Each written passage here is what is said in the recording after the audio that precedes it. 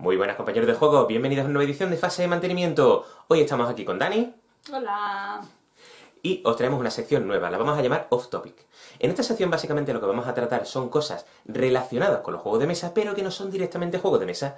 Concretamente hoy os traemos un especial sobre los Escape Room. Concretamente os voy a traer dos Escape Room que se alejan de lo que serían los Escape Room de mesa. Como sabéis, por regla general, eh, tenemos una serie... Bueno, un momento. Dani, coméntanos qué es un Escape Room.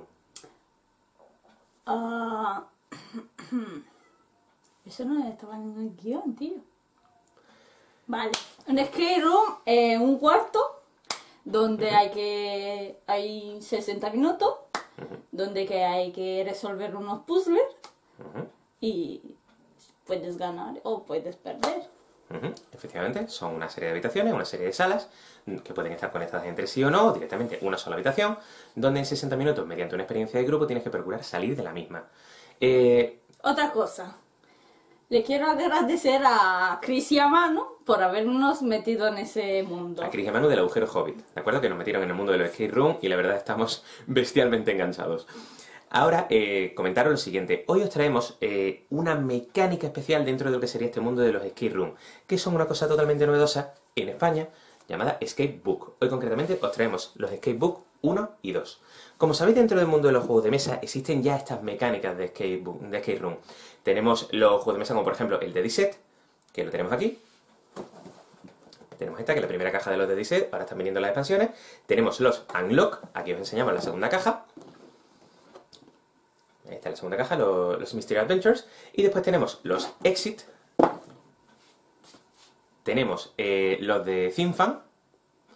Y tenemos uno nuevo que ha salido ahora también de la editorial Mercurio que se llama Escapa. Ahí. Vale. Entonces, eh, ¿qué vamos a hacer en este vídeo? No os vamos a spoilear el contenido, por supuesto, de ninguno de los puzzles. Vamos a enseñaros cómo funciona la mecánica de cada uno de los dos libros, que tienen una mecánica muy similar.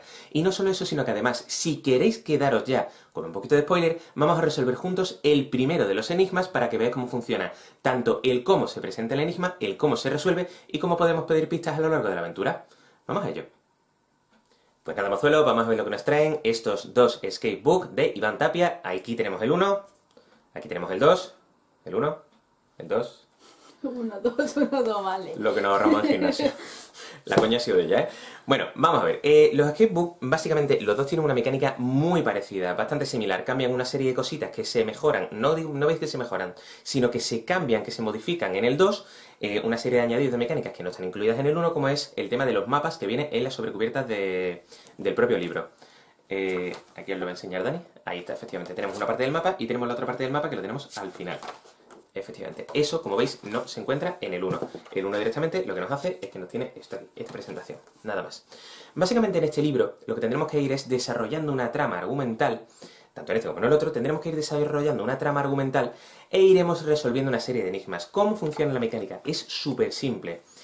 Tenemos unas instrucciones de qué tenemos que hacer desde el principio del libro, cómo vamos a utilizar el libro y cómo vamos a solicitar los enigmas, en caso de que no podamos resolverlo, cómo pedimos las pistas. Eh, nos dice que tenemos que seguir leyendo la trama argumental hasta que nos encontremos un candado. Y básicamente os voy a enseñar cómo funciona. Tenemos aquí, al principio, Candela, este libro y el otro giran en torno a un personaje que se llama Candela Fuertes. Candela Fuertes es una periodista que descubre algo, no voy a decir lo que es, descubre cualquier cosa, un elemento, y eh, tiene que ir resolviendo una serie de investigaciones, tiene que ir indagando de lo que está pasando, acerca de lo que está pasando, con un club llamado el Club Bernstein. Pues eh, hay un personaje llamado Anastas Bekla, muy, muy balbado, muy, muy de película, muy peliculero, y tenemos que procurar mm, resolver qué está pasando con el, con el Club Bernstein, cuál es su relación con Anastas Bekla y qué están intentando hacer en el fondo, que es en torno a lo que gira toda la trama argumental del primero y una inmensa parte de la segunda parte de este escape book, del segundo libro. Básicamente aquí tenemos el principio. Esto nos dice el tiempo que queda. Este tiempo que queda le dice que a Candela le quedan 56 minutos de vida. Obviamente mmm, podéis hacerlo a más de 56 minutos y tal, no cambia absolutamente nada. Este libro no va a tener directamente una puntuación. Cuando resolvéis el libro, y el segundo también, cuando resolvéis los dos libros, lo resolvéis y punto. Es decir, mmm, va a pasar una serie de cosas, te sales de la, de la famosa barrera de, de la televisión, es decir, vas a tener que utilizar una serie de elementos que exceden de lo que es el libro, vas a tener que acudir a determinados medios que no están dentro del libro, entonces es normal que, tenga, que necesites tener un teléfono móvil al lado, o una conexión a internet, o un ordenador, o lo que sea. Eh, básicamente el principio, tenemos aquí, tic-tac, tic-tac, tic-tac, te entra en toda la trama argumental, te dice tal, y vas a ir leyendo hasta que llegues a un puzzle. Este, por ejemplo, es el primero de los puzzles. Ahora lo vamos a resolver juntos. Esta, esta primera parte de la reseña la voy a hacer sin spoiler y después os haré un poquito, vamos a resolver juntos cómo se resuelve este puzzle para que veáis cómo se solicita pista y cómo se hace. Pues tenemos este puzzle, pasamos a la siguiente página, tenemos la segunda parte del puzzle y nos indica aquí en esta página, el enigma sigue sin estar resuelto, descubre poner la clave, ta, tienes que resolver el puzzle y si te quedas trabado tienes aquí un código QR, tienes una pista en la página 143 que te va a ir guiando si no quieres salirte del libro, si quieres tenerlo sobre la marcha. Si acudes a esta página QR, eh, a este código QR, a la página a la que te va a mandar, vas a recibir las pistas de la voz de la propia Candela. Y no solo eso, sino que además puedes acudir directamente a esta página web, marcando la dirección, que también tendrás las pistas ahí. Cualquiera de los tres medios. Una vez que resuelve la pista te va a dar un número. Ese número es la página en la que tienes que continuar. Y una vez que has hecho esto, tienes que ir repitiendo esto una y otra vez, una y otra vez, desarrollando la trama hasta que llegas al final de cada uno de los libros. Hasta aquí básicamente lo que sería la, explicación de cómo funciona la mecánica. No tiene más secreto. De aquí en adelante todo lo que vamos a hacer va a ser un spoiler del el primero de los acertijos, el primero de los enigmas, para que veáis cómo funciona tanto la trama argumental, cómo comienza la trama argumental, como la resolución, cómo pedir las pistas, cómo hacerlo y cuál será la solución del primero de los enigmas para que veáis a qué página nos remite, a qué número nos traslada. Bueno, mozuelos, pues ahora vamos a hacer la parte con spoiler. Voy a leeros cómo comienza la aventura, dónde nos sitúa, qué pasa con Candela Fuertes y qué sucede hasta que resolvemos el primero de los enigmas. Vamos a ver. Empezamos aquí, y nos dice, el principio. A Candela le quedan 56 minutos de vida. Tic-tac, tic-tac, tic-tac. En el suelo de una habitación, el cuerpo de una mujer joven con los ojos cerrados. ¿Muerta? Su pecho sube y baja débilmente. Arriba, abajo, arriba. Está viva. La falda de su vestido largo ha quedado remangada. Podemos ver las medias negras, rotas. Tiene revuelta la melena caoba. La piel, demasiado blanca, contrasta con sus labios rojos. Arriba, abajo, arriba. La luz de emergencia es demasiado tenue. Un sonido suave, persistente, resuena en la sala oscura. Son las turbinas que hace un momento se han puesto en marcha para succionar el gas mortífero que minutos antes ha salido por los aspersores ocultos en el techo. Arriba, abajo, arriba. La mujer abre los ojos. Intenta parpadear, pero no consigue cerrarlos. Intenta hablar, pero su boca no se abre. Un segundo, dos segundos, parpadea por fin, y se desliza una lágrima que le corre el rímel. El tiempo se acaba, pero su cuerpo, por más que ella lo intenta, sigue sin moverse. Solo le quedan 56 minutos. La mujer centra su energía en la respiración. Inspirar, expirar, inspirar. No puede moverse. Está desorientada. Intenta hablar, pero no lo consigue. Tiene miedo. Inspirar, expirar, inspirar. Lo intenta de nuevo y sus labios se mueven. Me llamo Candela Fuertes. Bueno, yo soy man. Y ella. La voz regresa en un susurro. El movimiento vuelve, lentamente. Gira la cabeza a un lado y observa el espacio que se insinúa a través de la oscuridad. Inspirar, expirar, inspirar. Gira la cabeza al otro lado. Clock se da un golpe contra la pared. Suave, pero suficiente para conectar sus neuronas y encender de nuevo la luz de su cerebro. Todo lo demás continúa en penumbra. Candela Fuertes, periodista, 28 años, muchas historias que contar, algunas que callar y ninguna que olvidar. De ella depende el futuro de millones de personas que no la conocen y le quedan pocos minutos de vida. Ya sabe dónde está, ya sabe cómo llegó. Lo que no sabe es cuánto tiempo ha pasado, pero sabe que si no consigue levantarse, su futuro se acabará y con él el mundo tal y como lo conocemos. Se mueve músculo a músculo, a una velocidad intermedia entre un gusano de seda y un dragón de cómodo. Candelas consiguen sentarse. ¿Cuánto tiempo ha pasado? Agatas palpa el suelo, busca, busca y encuentra un cronómetro, se lo ata a la muñeca, marca 54 minutos para morir. O mejor para vivir. Apoyándose en la pared, bajo la tenue luz, Candela se levanta. No tiene ni idea de por dónde salir, está encerrada, debe escapar, pero no será fácil. Aunque yo lo sabía cuando entró en el Dédalo, el laberinto de muerte creado por Anastas Bekla. Tic-tac, tic-tac, tic-tac. Primero fue un caso más, después fue el caso y ahora es su vida. Hace tres meses empecé a investigar sobre Anastas Bekla, el gran gurú de las finanzas, admirado por sus enemigos y temido por sus amigos. El hombre que cambia el curso de la economía mundial con un solo tuit. Candela revisó fotos, foros, comentarios, notas de sociedad, biografías, declaraciones, blogs, hasta que acabó topándose con la existencia del Dédalo en una entrevista de televisión. El magnate de las fianzas hablaba sobre su infalible sistema de seguridad con unas medidas de control que rayaban lo criminal. Señor Anastas, ¿qué sucedería si un intruso entrara en el Dédalo? preguntó el presentador del programa. Muy sencillo. Un gas venenoso acabará con su vida en 60 minutos si no se inyectara a tiempo el antídoto correspondiente. Solo yo puedo salir de él. Anastas acompañó la frase de una sonrisa ladeada, atractiva. ¿Cómo sería la sonrisa? Vale. Eh, Candela, sentada delante del televisor, en el futón de su casa, duerme en un futón, no podía creerlo. Ese hombre le repugnaba, pero aún así no podía dejar de mirarlo. Peor aún fue la respuesta que dio el magnate cuando el presentador le preguntó sobre la dudosa legalidad de dicho sistema. Mirando directamente a la cámara, Anastasia que la contestó. Mira así, a la cámara. El intruso iría al cementerio y yo iría a juicio, pero puedo asegurarle que valdría la pena. Tengo los mejores abogados. Yo, no soy. Eh, a continuación, con esa sonrisa tan característica suya, retó a todo aquel que quisiera intentarlo a poner a prueba su capacidad. Candela se estremeció. Os puedo asegurar que el dédalo es infranqueable. Estoy tan seguro de ello que puedo deciros dónde se encuentra la entrada. Justo detrás de la mesa de mi despacho, en el despacho, en el castillo de Ferulik. Si alguien tiene ganas, está invitado a visitarme. Candela se sintió retada, tentada. Te pillaré, maldito arrogante. Recién acabada la carrera de periodismo, Candela vivió el desahucio de, la abuela de uno de sus mejores amigos. La mujer perdió el piso a manos de un banco que no tuvo reparo en ponerla de patitas en la calle. Toda la vida cuidando su casa de 40 metros cuadrados para acabar en la habitación de invitados de su nieto. Murió dos meses después, de un ataque al corazón. Eso decían los médicos. De pena, decía su nieto. Candela ayudó a un amigo a enfrentarse al banco. Perdió, aprendió, maduró y decidió dedicar su vida a desenmascarar a los que ponen de rodillas a la gente de a pie. No hay nada que le guste más a Candela que iluminar cuentas opacas, emblanquecer dinero negro, pasados oscuros o negocios poco transparentes.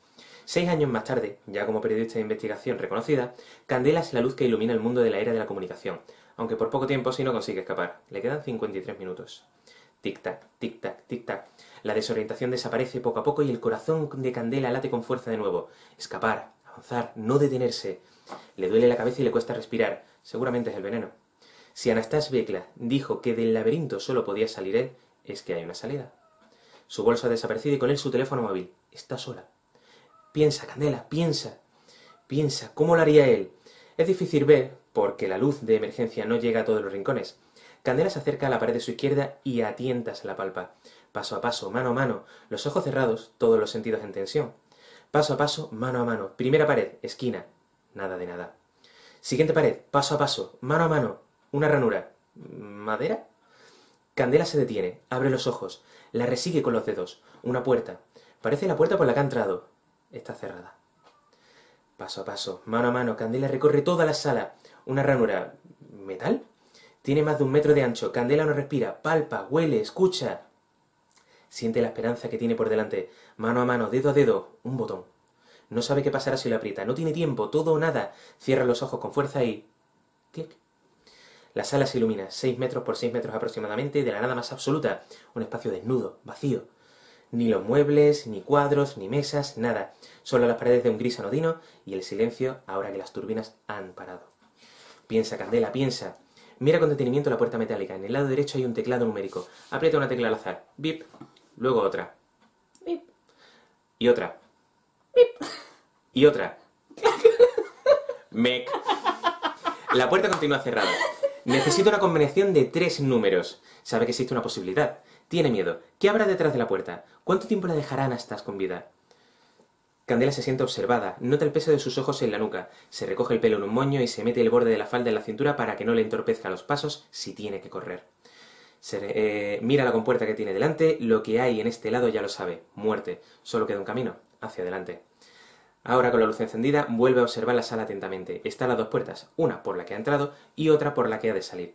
Y en las paredes descubre unas placas metálicas que con las manos no había encontrado. Están llenas de tornillos. Una placa a la izquierda y tres más pequeñas a la derecha. Ahí está el secreto, ¿no? El juego acaba de empezar y Candela debe abrir la primera sala si quiere seguir con vida. Quedan 52 minutos para que el juego acabe. Esto que os he leído es el texto introductorio. Aquí empieza la primera de lo que serían las placas. Esta es la placa grande y si pasamos la página nos encontramos con tres placas pequeñitas. Este es el enigma, es decir, tenemos que resolver esto para que, teóricamente, metiendo el, metiendo el código numérico dentro de ese teclado que nos ha comentado ella, accedamos a la siguiente sala. Nos va a dar un, un número de tres cifras que tendremos que utilizar para llevar a la página correspondiente. Imaginemos por lo que sea que estamos totalmente bloqueados y que no conseguimos saber cómo tenemos que resolver este enigma. Voy a resolverlo, es decir, si queréis parar ahora para no saber cómo se resuelve el enigma, hacedlo. ¿Cómo funciona el enigma? Si por lo que sea no consigo saber cuál es la clave, me vengo aquí y en la página 143 me va a dar una serie de pistas de qué puedo hacer. Tú puedes leer las pistas que tú quieras y no te va a cambiar el resultado de la partida absolutamente nada. Estas son las pistas. Te viene una relación de pistas y si pasas en la página te resuelve el enigma por completo. Es decir, la primera pista sería, la clave está en los tornillos de las placas metálicas. La segunda, en la placa grande se esconden unos números, así respectivamente. Como os he comentado antes, el juego tiene una, una serie de, de códigos QR que te lee, la misma candela, las pistas que vamos a ir teniendo. Entonces, voy a enseñaros cómo funciona el código QR. Bueno, cómo funciona este libro, no voy a enseñar cómo funciona el código QR. Tenemos aquí el código QR y lo iluminamos con el móvil. Hacemos así, para acá, y nos manda a una dirección concreta. Le damos a buscar esa dirección y nos abrirá un enlace. Aquí tenemos el enlace. Son las cinco mismas pistas que tenemos en la página 143, pero tenemos esta diferencia. La clave está en los tornillos de las placas metálicas. En la placa grande se esconden unos números. Pues así nos irá dando candela las pistas para poder resolver el puzzle en caso de que no nos salga la primera, o la segunda, o la tercera. Si por lo que sea, pese a todo eso, no conseguimos resolver el enigma, nos vamos al final de... a la siguiente página donde nos daba las pistas, en este caso la página 144, y nos dirá cuál es la resolución y cómo se alcanza esa solución para poder continuar con la aventura. Y a qué página, por supuesto, tenemos que ir. Vamos a resolver el puzzle juntos, para que veáis cómo funciona. Tenemos aquí esto. ¿Veis que tenemos tornillos en vertical y en horizontal?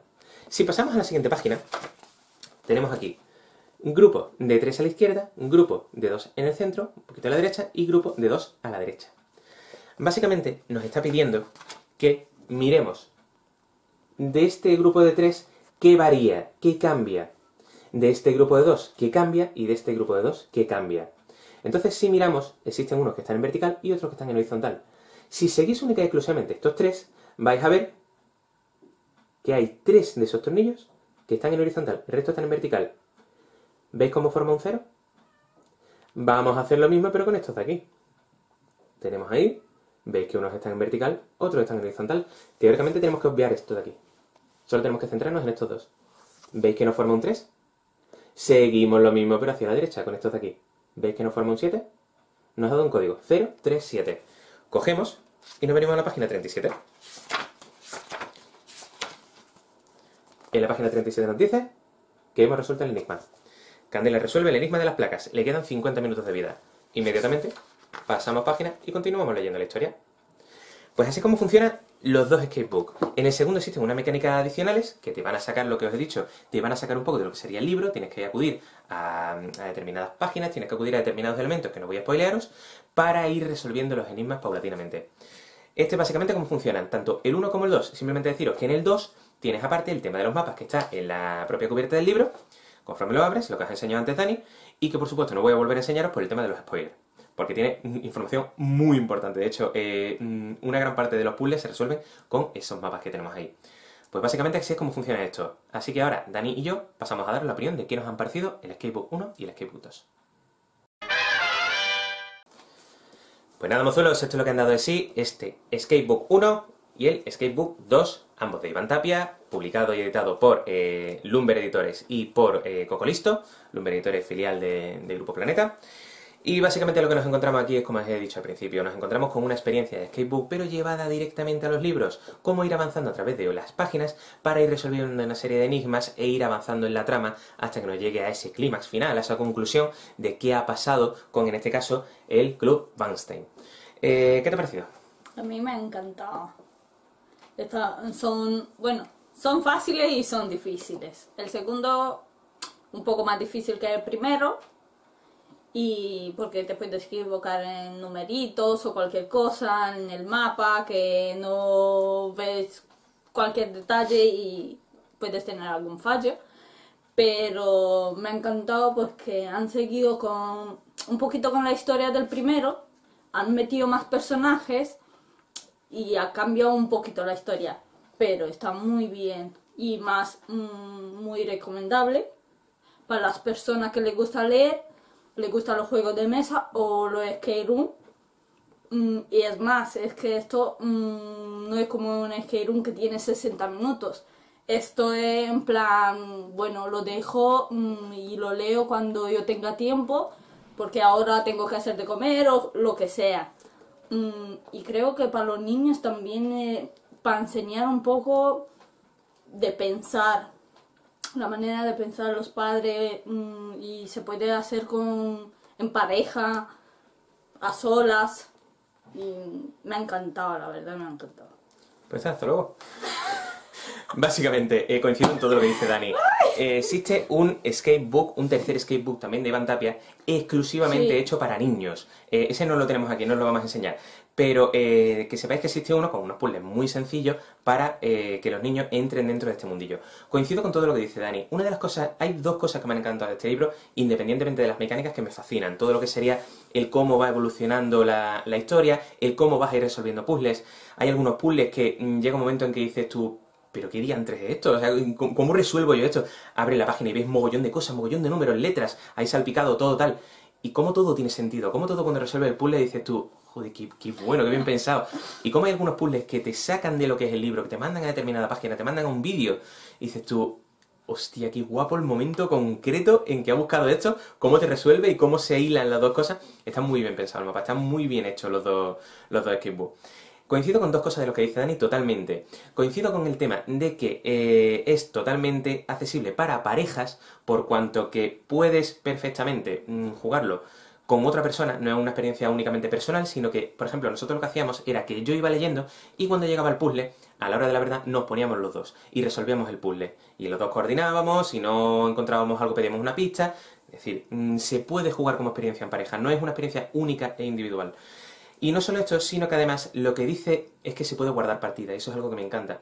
Es un libro, no olvidemos que es un libro, y como libro va a ocupar bastante tiempo. A nosotros, por ejemplo, nos han durado, eh, en lo que es cómputo de horas, nos duró el primer libro unas 4 o 5 horas más o menos, ¿no? Y el segundo nos duró un poquito más, el segundo nos duró unas 7 o 8 porque tiene algunos puzzles que son la muerte en verso. Pero eh, si en algún momento no puedes seguir por lo que sea, tienes que parar, guarda la página, ponle el marcapágina, ciérralo y sabes que tienes que recuperar ese enigma. Lee la historia de nuevo, que obviamente la historia, ese pequeño fragmento de historia que te lleva a ese puzzle, te da pequeñas pinceladas de lo que tienes que hacer, te da pequeñas pistas, pero ya el grueso del puzzle tienes que resolverlo tú. Esas dos cosas me han encantado. Me gustan mucho estos skipbooks. Y no solo eso, sino que además tienen un precio muy bueno. Realmente valen en torno a 15 euros, ¿vale? Una cosa así. En torno a 15 euros, ¿vale? Están muy bien de precio, es decir, mm, son bastante accesibles, los podéis encontrar casi en cualquier lado, lo podéis encontrar en casa del libro, en cualquier tienda de libros, incluso en alguna tienda de, de juego de mesa vais a poder encontrarlo. Nosotros lo recomendamos desde fase de mantenimiento. Eh, a Dani y a mí nos han encantado. Todo lo que vaya sacando Iván Tapia, mm, por supuesto, vamos a, a conseguirlo. El de niños no, porque es demasiado complejo para nosotros. Pero quitando... Bueno, A mí me sirve para hacerlo yo sola, ¿vale? Vale, es muy complejo para mí. Eh, entonces, básicamente, eso es lo que tenemos mm, en cuanto a esto de skateboard. Muy recomendados, muy accesibles, muy buenos, graciosos y una historia, la verdad, que sí es verdad que Iván no es el mejor escritor del mundo, la historia se deja leer, se sigue con facilidad y te lleva mm, a un lugar en que terminas los libros y dices tú, "Mm, quiero algo más, quiero algo más. Y sobre todo el cierre de los libros, chapo. El- ese cierre de último enigma de cada libro es una especie de colofón que está brutal, está guapísimo. Que nosotros tuvimos que buscar pistas por otra parte. Hubo una de las veces en el segundo libro, ya nos quedamos nosotros, que este yo llorando en una esquina sin plan de ¡Ah! ¿Pero cómo se resuelve esto? Muy chulo, la verdad. Experiencia El muy segundo recomendada. sí que es difícil. El segundo más dificilillo, el segundo ofrece más experiencia más chula, el primero es un poquito más sencillote en algunos puzzles, hay algunos que Claro, también para tienen meterte, para meterte en el mundo, dice, mira, lo hago más fácil, el primero. Que nosotros hemos hecho mal, teníamos que empezado por el de los niños. Pero, pero bueno, que ya está, no hemos resuelto así. Así que nada, básicamente esto es lo que traemos. Si queréis decirnos cualquier cosa, si queréis comentarnos eh, qué os han parecido los skatebooks si lo habéis leído, si os llama la atención, si no, cualquier cosa que queréis decirnos de la skate room, aquí abajo en la cajita de los comentarios. Si queréis que le quedan bien la gafa a Dani, cualquier cosa que queréis decir, nos lo ponéis abajo en la cajita de los comentarios. Muchísimas gracias por estar ahí. Nos vemos en el siguiente Vas a vídeo. tener un no me gusta, un dislike, por tener yo las gafas. Uno dice. Nos vemos en el siguiente vídeo. Hasta luego. Nos vemos en el tablero. ¡Ay, no sabía! Venga, nos vemos en el siguiente vídeo. En el tablero. Nos vemos en el tablero. Madre mía, Pablo, vuelve, por favor. Hasta luego.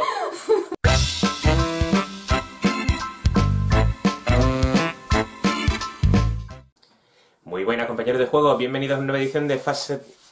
¿Qué pasa? Me quitabas la luz, nadie brilla más que yo.